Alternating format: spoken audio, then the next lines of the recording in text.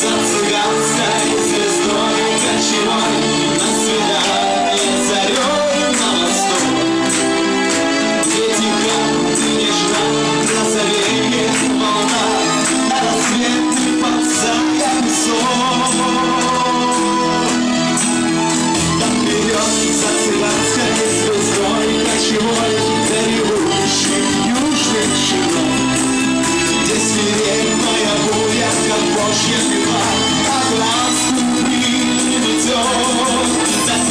Sensibel's face is all that she wants to know